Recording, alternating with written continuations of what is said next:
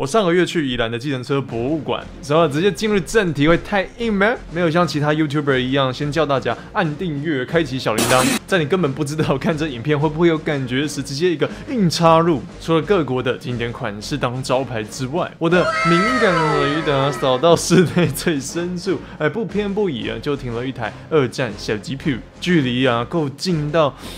哇，可以闻到美军们曾经的屁味。然后老实说，车体大小，我觉得连我们亚洲人坐起来呢，都会有一点吃力。下面介绍写词为一九四七年的战后版本。策展人觉得呢，它是属于战场上的敌士啊，带着士兵东奔西跑，有点为牵强了。嗯，不过看你有这样的搜集热情，当然想展什么就展什么。你知道更牵强的是什么吗？感谢今天的干爹 Surshop VPN。是的，没想到在我们这种讲干话和正政治敏感的交织地带，还能被厂商相中。如果网络使用过量的朋友一定知道他们 VPN 的功能呢？我最常使用的方式就是绕过 Netflix 的区域封锁限制啊，亦或者是你预想造访一些非美国本土网站就无法存取的地方，像我之前在 PS 商店呢想买的美版游戏啊、球赛转播或政府官网等等。重点是呢，过程你能以匿名的方式浏览啊，不用担心资料被收集。使用起 Clean Web 功能，让你免于钓鱼广告和追踪器的干扰。闪避色色的 Pop Up 图袭，有如吉普车翻越障碍物般轻松。帮我点击影片下方的专属链接和输入频道优惠码 Mass Game Night，即可获得一点七折优惠和额外三个月的免费服务哦。现实好康啊！穿好金钟罩后，拿起篮球准备砸车吧。没错，今天就想和大家来聊聊这部战争片中美军必出现的经典威力吉普。车 Willys MB 又名四乘四又四分之一吨多功能货卡，当然比较耳熟能详的呢，就是它的小名吉普车 Jeep。这称呼的由来呢，相信内容农场的文章已经讲到烂掉了，是因为美国政府当时在招标多用途 General Purpose 载具，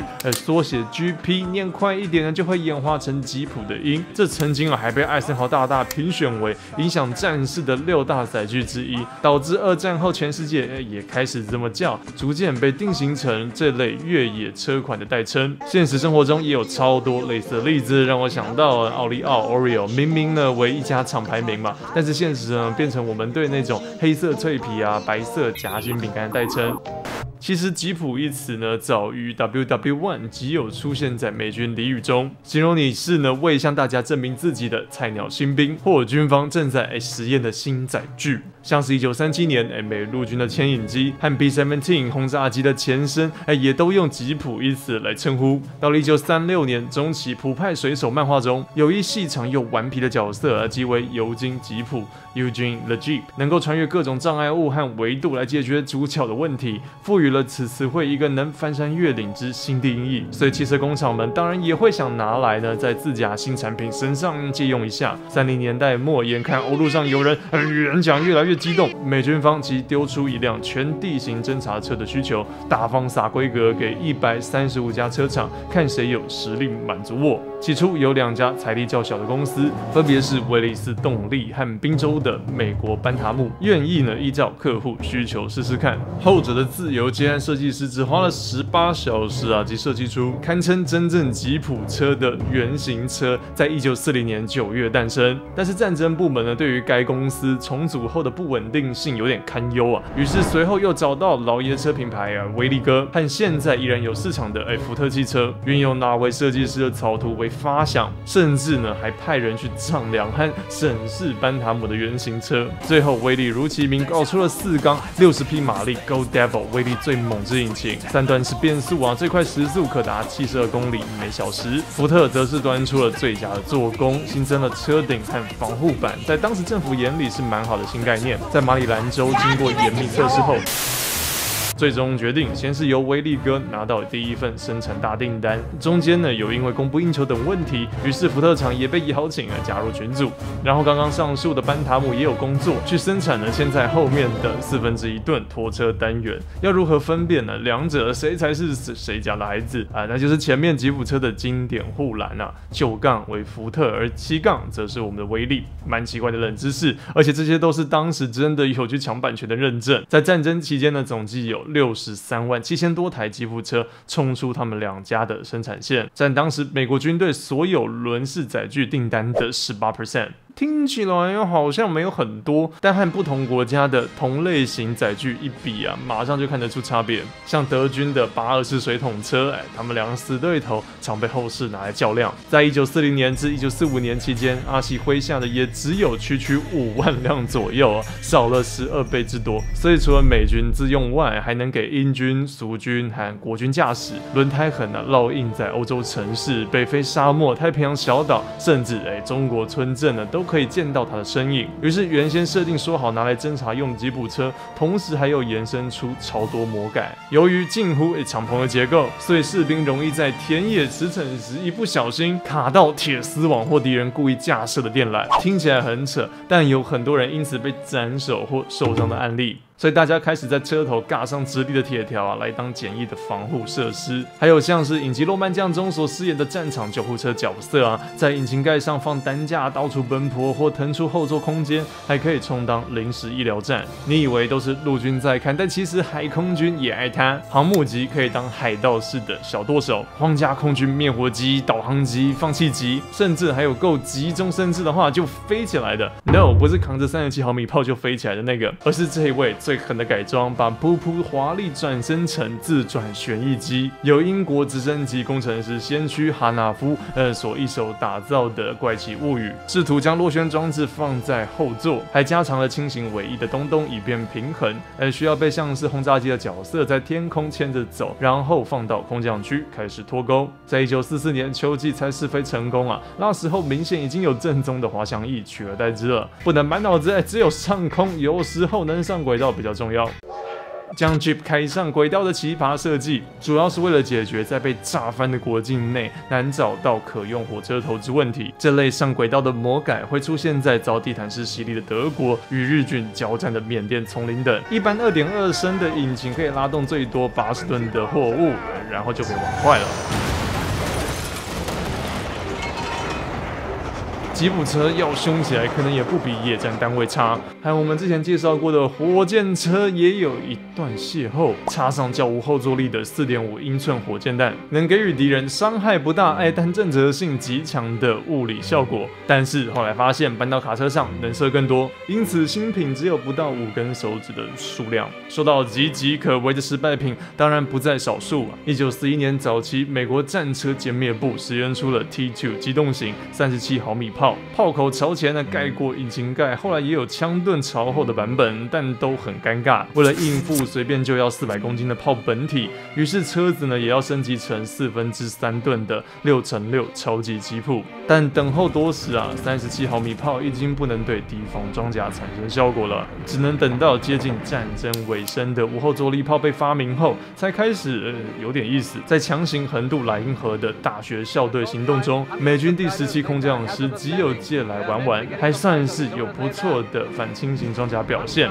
而且很多照片可以看到，副驾火力技能点到满，哎，嘎上 M 一九一七 A one 或点五零 M 三一在后座的枪架最为热门，总计有三万一千多组出产，任君挑选。虽然大家在战场上早有动手玩创意出各种不同拼凑版了，最猛的还是飞我们英国佬的 SAS 莫属，直接双挺啊，点三零三 Vickers 机枪放在副驾。在一九四二年的埃及沙漠中，如入无人之境，火光照亮了寂静的夜空。哎，如今啊，可以看看吉普后代的子子孙孙，尽管时代在变，但仍然保有经典的头臂孔护栏和双头灯。刚刚上述的主要厂家威利格知道战事即将迈入尾声，所以也积极发展民用版本，除了四本书。关于今天的主角的作者派崔克说道，该公司握有两大免死金牌，其一是他们。从一九二零年代开始，就至少有十五帕的外销额是在海外市场。然后第二点呢，最为重要，因为吉普车已因为战事在全世界散布满试吃包，所以也不用打广告了。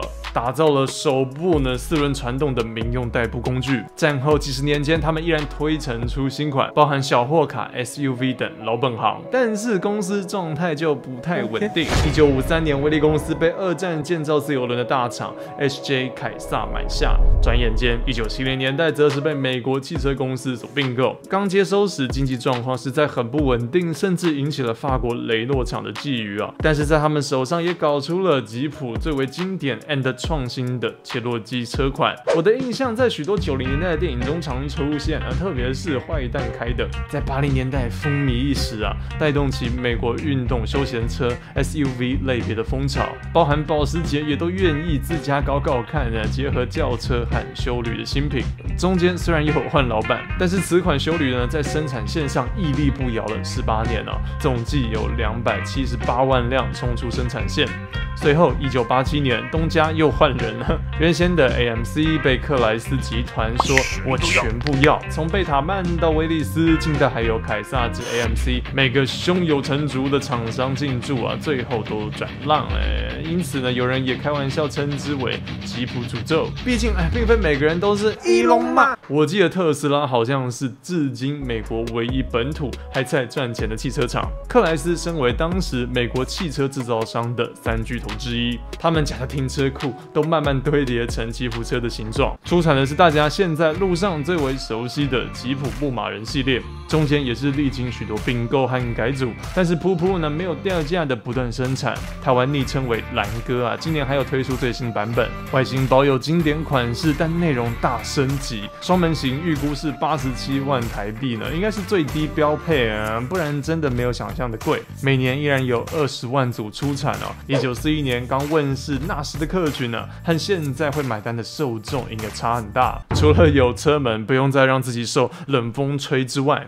二十一世纪的电子荧幕啊、手工皮衣等花俏配件啊，都给我加上去。因为不用像战时那样东省西省了嘛，所以身形加长，体重 double，轮子宽了一倍。引擎呢，毕竟都过了八十年，现在基础款三点六升 V6 引擎可吹出两百八十五匹马力，早已把原先的老爷车什么 Go Devil。抛诸脑后，六段手排变速也是一九四一年型排档的两倍之多，根本直接速变啊！但其实仔细想一想啊，虽然科技日新月异，但厂商的创作宗旨呢不曾改变过，他们都希望够格呢能将一小群人穿越困难重重之地形，抵达想去的地方，牺牲掉些许的舒适和实用性，换来的是最屌的越野表现哦。除了 Jeep 服饰之外，在台湾没有专门代理，应该是属于蛮小众的越野玩家会选购的，毕竟路上。好像都是看到 Suzuki 的 Jimmy 比较多，价格较低，大小可能也较符合台湾的路面和我们的身形。最后拿二战普利这新闻奖得主恩尼派尔为吉普车所下之评论作结：他什么都能干，他哪都能去，有像狗狗的忠诚、驴子的强壮和山羊的敏捷，永远能达到当初设计的目标还有余啊，并且持续向前行。常以底层士兵的角度来撰写报道，所以你基本上可以反推这部坐骑在美军大兵眼里可谓人见人爱。它的轻巧而强而有力的引擎和裸一半支声线，一按键式启动的，不需要钥匙，单个座椅呢，而不是当时的长椅式设计，搭配高高直立的手排档，对于很多二十出头岁的士兵而言，这已经是最接近赛车手的体验了。哎，不止我这样说，连恩佐法拉利。呃对，就是那个法拉利，也称吉普车为美国唯一正港、最接近赛车的东东。我怎么感觉美国佬听了不会很高兴？唯一的致命伤应该就是座椅，哎，可以再人性化一点。长时间待在上面子，有许多乘客都要挂号看尾椎。男生本来就是要喜欢阳刚的东西。不知道大家听完这一集有没有想买台 Jeep 的模型车呢？先别去买哈，临走前别忘记今天的干爹 Surfshark VPN，它能保障你的网络使用安全性，不用怕自己和朋友啊开着吉普车夜个营就被钓鱼网站给跟了。现在使用下面的专属连接和我的优惠代码 Mass Game Night，即可获得一点七折优惠与额外三个月的免费服务。感谢大家看到影片最后，我每四到五天一定会上新片，所以都欢迎按订阅和开启小铃铛。我们还有一个 P 站抖内平台，感谢一百六十位观众朋友。让我持续大声。最近频道周边的消息快快了，也会在现在那里公布。会是什么呢？大家可以期待一下。希望不是那种四级会出现的疗愈小屋，因为每摊逛下真的没什么特色。对于今天的影片内容，都欢迎在下方留言分享。请一个拜留言，我不一定会回复，但我真的都会看。新画面大概先到这边，啵啵。Don't have to answer the question. I'll answer the question. You want answers? I think I'm entitled. You want answers? I want the truth! You can't handle the truth.